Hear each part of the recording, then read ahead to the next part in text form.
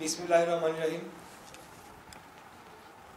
আজকে এই মত বিনিময় সভায় উপস্থিত আছেন উনপঞ্চাশ নম্বর ওয়ার্ড বিএনপির সংগ্রামী সভাপতি সদ্য কারামুক্ত জনাব মসলিউদ্দিন উপস্থিত আছে ঢাকা মহানগর দক্ষিণ বিএনপির অন্যতম সদস্য এবং ওয়ারি থানা বিএনপির সাবেক ভাইস প্রেসিডেন্ট সাব্বির আহমেদ আরিফ এবং শওকত হোসেন সাইফুল ইসলাম বাদল।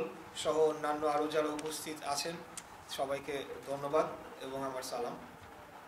দুইটা বিষয় নিয়ে বেশ কিছুদিন যাবৎ নানা ধরনের তথ্য আমার কাছে আসতেছিল। বিভিন্ন ধরনের অভিযোগ অনেকেই আমার কাছে করেছেন তা আমার মনে হয় যে ঢাকা দক্ষিণ সিটি কর্পোরেশন নির্বাচনে দুই হাজার বিশ সালে বিএনপির মনোনীত মেয়র প্রার্থী হিসাবে এই অভিযোগগুলা যে আমার প্রতি দৃষ্টি আকর্ষণ করা হচ্ছে, সেটির দিকে আমার একটু মনোযোগ দেওয়া উচিত এবং আপনাদের কথাগুলো শোনা উচিত। তারই আলোকে আজকে প্রথম এই মত বিনিময় সভা করছি। দুটি বিষয় মূলত আজকে যেটা আমি একটু আলোকপাত করতে চাই, যে পদ এবং ছবি এবং দলীয় কর্মসূচিতে অংশগ্রহণ করা অথবা ঢাকা সিটি কর্পোরেশনের শ্রমিকদের বিভিন্ন দাবি দাওয়ার আদায়ের লক্ষ্যে বিভিন্ন সময় প্রতিবাদ করা এবং আপনাদের দাবি আদায়ের জন্য সেটি যথাযথ কর্তৃপক্ষের দৃষ্টি আকর্ষণ করা, এই ধরনের কাজকে অভি, এই ধরনের কাজকে একটি অন্যায় অভিযুক্ত করে আপনাদের অনেককেই চাকরিচ্যুত করা হয়েছে। বিশেষ করে বিএনপির নেতাকর্মীদের অথবা বিএনপির আমলে যারা চাকরি পেয়েছেন, তাদের অনেককেই চাকরিচ্যুত করা হয়েছে।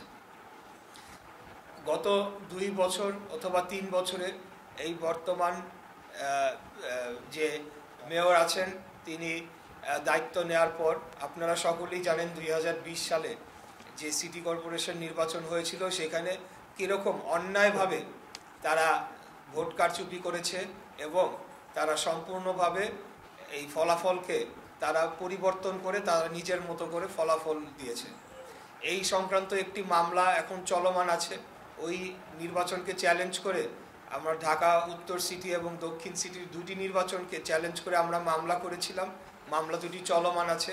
আমরা আশা করি আগামীতে বাংলাদেশে একটি ন্যায় শাসন ন্যায় বিচার প্রতিষ্ঠা হলে, আইনের শাসন প্রতিষ্ঠা হলে আমরা অবশ্যই এটার সুবিচার পাব। কারণ প্রত্যেকটি তথ্য প্রমাণ সহ আমরা মামলাটি করেছিলাম এই নির্বাচনের বিরুদ্ধে। আমি শুধু আশ্বস্ত করব আপনাদেরকে, যারা আপনাদের দাবি দাওয়ার আদায়ের লক্ষ্যে আপনারা বিভিন্ন সময়ে সোচ্চার হয়েছেন, আপনারা দেশের প্রয়োজনে, জনগণের প্রয়োজনে এবং আপনাদের পরিবারের প্রয়োজনে আপনারা বিভিন্ন সময় বিভিন্ন পদক্ষেপ নিয়েছেন, আপনাদের দাবি দেওয়া, আদায়ের জন্য আপনারা কথা বলেছেন। সেটি কোনো অপরাধ নয়, একটি গণতান্ত্রিক বাংলাদেশে আপনার সংবিধান, আমাদের সংবিধান আমাদেরকে সেই অধিকার দিয়েছে যে আমরা আমাদের ন্যায্য দাবি আদায়ের আমরা সোচ্চার হই, আমরা প্রতিবাদ করি, আমরা সেই লক্ষ্যে আমরা কর্মসূচি করি। সেটিকে যদি এখন একটা অপরাধ বলে গণ্য করে আপনাদেরকে চাকরিচ্যুত করা হয়, সেটি সম্পূর্ণ অবৈধ এবং বেআইনিভাবে সংবিধানকে লঙ্ঘন করে আপনাদেরকে চাকরিচ্যুত করা হয়েছে। আপনারা সকলেই জানেন বর্তমান বাংলাদেশের অবস্থা কি, সেই চিত্র এবং সেই তথ্য আপনাদের কাছে রয়েছে। আপনারা দেখছেন প্রতিনিয়তই আইনের শাসনকে লঙ্ঘন করে চলেছে এই সরকার।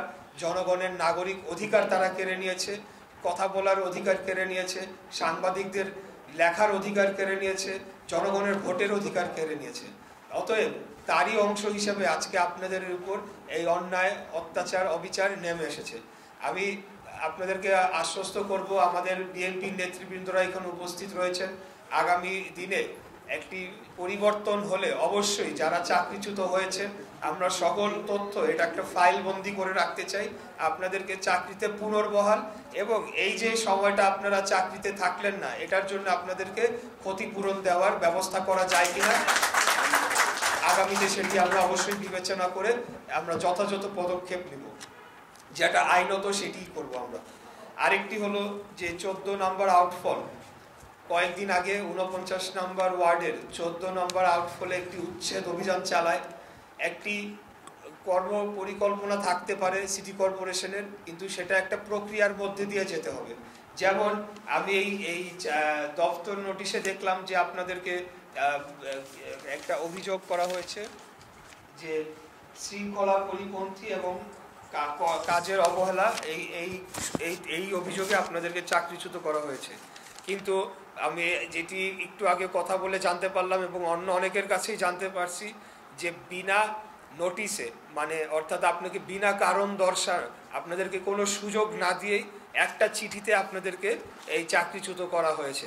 এটি যদি করা হয়ে থাকে, এমনিতেই তো আমরা বলতেছি যে এই নির্বাচন অবৈধ, এই বর্তমান যারা দায়িত্বে আছেন তারা অবৈধভাবে তাদেরকে আমরা মানি না। তার উপরে তারা যে অফিসিয়াল যে কাজগুলো করছে, সেটাও সম্পূর্ণ অবৈধ। অর্থাৎ আপনাদেরকে যেভাবে চাকরিচ্যুত করা হয়েছে, এটা কিন্তু কোনোভাবেই অফিসিয়াল প্রক্রিয়ার মধ্যে পড়ে না। এটা সম্পূর্ণ অবৈধ বলেই গণ্য করতে হবে।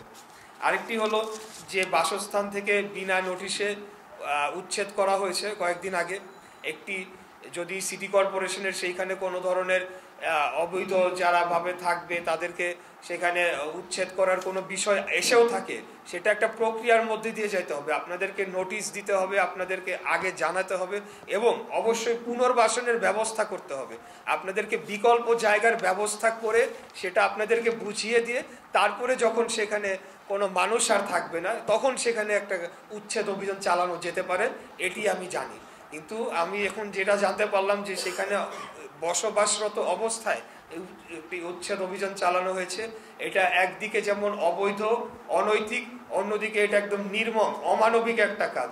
যেটি আমাদের মুসলিদ্দিন সাহেব বললেন যে, শীতের মধ্যে এবং সারা বাংলাদেশে এখন যে অর্থনৈতিক অবস্থা, কোথাও কর্মসংস্থান নাই, সবখানে মানুষের একটা হাহাকার।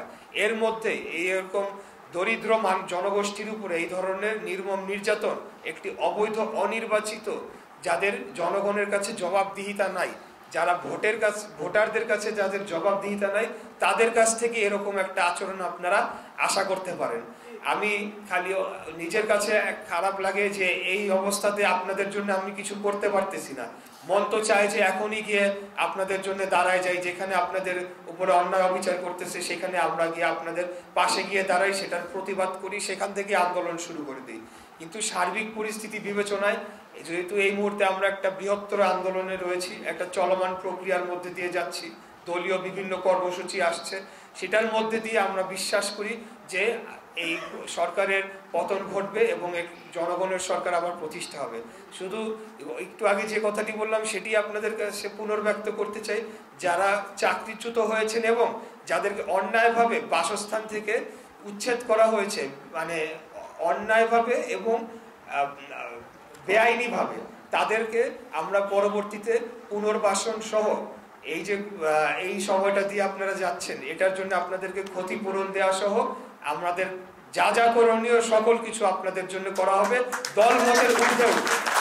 সেখানে যদি বিএনপি দলীয় বা আওয়ামী লীগ দলীয় বা অন্য যে কোনো দলেরও লোকজন যদি এইভাবে অন্যায় প্রক্রিয়ার তারা ভিকটিম হয়ে থাকে, তাদেরকে আমরা এই এই পুনর্বাসন এবং ক্ষতিপূরণ এবং চাকরিতে পুনর্বহাল এবং এই যে বিভিন্ন যে উচ্ছেদ অভিযানে যারা ক্ষতিগ্রস্ত, সবাইকেই আমরা দেখব। আমরা চাই না যে কারোর উপরে এই ধরনের অন্যায় অত্যাচার নেমে আসুক, অথবা কেউ এই অন্যায় অত্যাচার করার মতো অবৈধ ক্ষমতা কারও হাতে থাকুক। এটাই আমরা একজন নাগরিক হিসাবে আমরা এটা কাম্য নয়।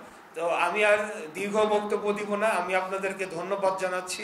যে আপনারা সময় নিয়ে এখানে এসেছেন এবং আমার কাছে বলেছেন, যেহেতু আমি সিটি কর্পোরেশন নির্বাচনে বিএনপি দলীয় মেয়র প্রার্থী ছিলাম এবং আগামীতেও যদি মহান আল্লাহ তালা জীবিত রাখেন, আমি আবারও নির্বাচন করতে চাই ইনশাল্লাহ আপনাদের দোয়ায়। সেই জন্য আপনারা যে কোনো বিষয় আশয় থাকবে আমার কাছে আসবেন, আমার কাছে বলবেন, আমি অন্তত আপনাদের পাশে দাঁড়ানোর সর্বোচ্চ চেষ্টাটি করব এবং সকল কিছু আমরা একটা রেকর্ড রেখে দিতে চাই যে আগামীতে যারা, কারা কারা ভিকটিম ছিল তাদেরকে আমরা সর্বোচ্চভাবে যাতে সেটা মানে মেকআপ করে দিতে পারি, তাদেরকে আমরা একটা ক্ষতিপূরণ দিতে পারি, এটার আমরা ব্যবস্থা করে দিতে চাই। তো এই পর্যায়ে আজকে আমি আমার বক্তব্য শেষ করে এই মতময় বিনিময় সভাটি শেষ করতে চাই। খোদাফেজ বাংলাদেশ জিন্দাবাদ।